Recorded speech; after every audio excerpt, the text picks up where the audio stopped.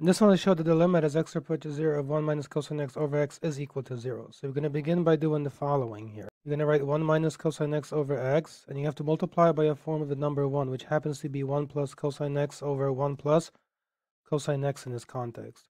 Then you just FOIL out the numerator, so 1 times 1 is 1, 1 times cosine x is cosine x, negative cosine x times 1 is negative cosine x, and then negative cosine times positive cosine is going to give you a negative cosine squared x. And the bottom, you're going to have x times 1 plus cosine x this way.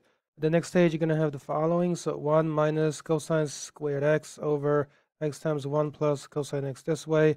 The middle terms cancel. Then you get the following next. So sine squared x over x times 1 plus cosine x. So sine squared replaces 1 minus cosine squared from the Pythagorean identity.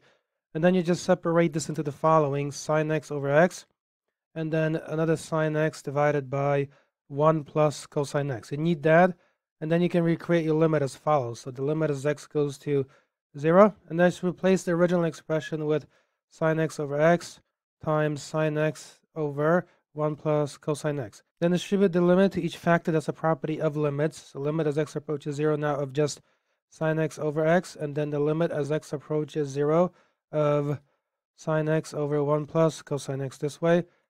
Now, the limit as x approaches 0 of sine of x is known to be 1, and the other one you can do through direct substitution, so it becomes sine of 0 over 1 plus cosine of 0, and then you worked with that, so it's going to be 1 times 0, and then 1 plus cosine of 0. Cosine of 0 is 1, 1 plus 1 is 2. Nevertheless, 0 is involved, so you end up with 0.